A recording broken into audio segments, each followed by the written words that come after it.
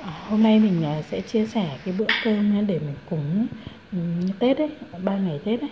Và hôm nay cái bữa cơm này của mình là gồm có những cái món này. Thịt ba chỉ các bạn có thể quay như giòn mì như mình này hoặc là luộc nhé. Canh miến,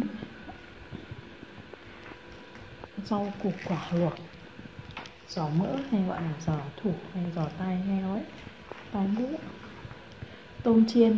Nhiều bạn bảo không được cúng tôm vào ngày Tết nhưng mà mình ăn gì thì chúng ta cúng đấy và chúng ta chỉ lên là kiêng um, những cái thứ mà nó hôi ấy và như kiểu thịt bò xào với tỏi tiết các thứ ấy nhất là tỏi chúng ta không được cúng rồi đây canh măng ạ. Canh măng xương mọc ạ.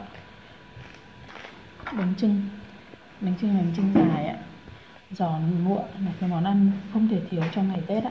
Gà luộc cũng vậy ạ và đĩa nem rán truyền thống của người miền Bắc mình ấy, hay là gọi là món chả giò của miền Nam đấy ạ. Và đây là một đĩa giò me nữa. Thêm một đĩa hoa quả tráng miệng nữa và mình sẽ xong cái mâm cơm cúng của mình. Và đây là một bát cơm cúng để mình thắp hương ấy. Để cho chúng ta thắp hương chúng ta sẽ rót rượu ra để chúng ta cúng ạ. Đấy là cái bữa cơm của gia đình chúng mình nhé ở miền Bắc mình ấy vào cái dịp Tết ấy thì cái bưởi diễn ấy, nó rất là nhiều, cái bưởi này ăn rất là ngọt và mát ấy.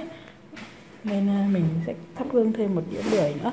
Và đây là toàn bộ mâm cơm cúng ngày Tết của gia đình mình nhé. Và bây giờ mình sẽ đi dâng lên để cúng các cụ và thắp hương.